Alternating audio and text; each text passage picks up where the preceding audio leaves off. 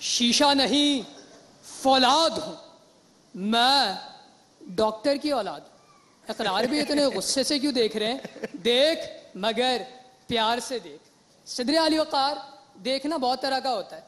प्यार से देखना, गौर से देखना, नफरत से देखना, शदीद नफरत से देखना, और उस नज़र से देखना, जिस नज़र से जसप्रीत बुमराह की नोबॉल पर हिंदुस्तानी आवाम ने देखा था।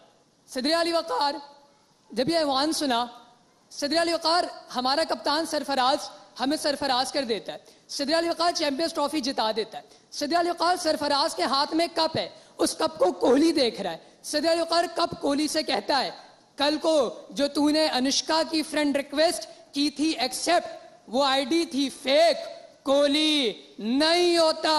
तुझसे चेस कप को देख बार बार देख देख मगर प्यार से देख।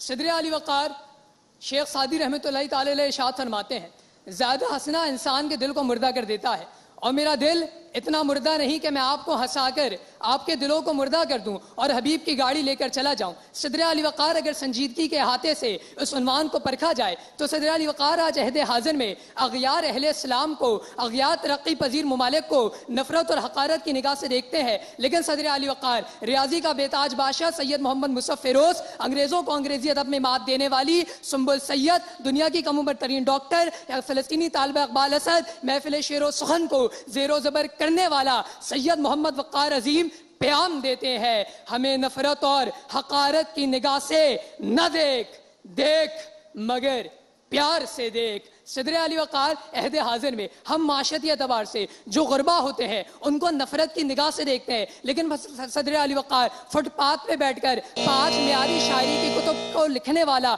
मुनवर शकील और फिर कचरे में कचरा चुनने के बाद अव्वल पोजीशन हासिल करने वाला हलूस खान दुनिया को पैगाम देता है, मुझे हकारत की नज़र से न देख, मेरा हाल न देख, अहवाल न देख देख, मगर प्यार से देख और सदर अली वक़ार अल्लाह इबन अजर असकलानी कहते हैं, जिस नज़र से तुम चाहते हो कि और तुमको देखे, उस नज़र से औरों को देखो तो अगर आप चाहते हैं और आपको प्यार की निगाह से देखें तो आप भी देखें, लेकिन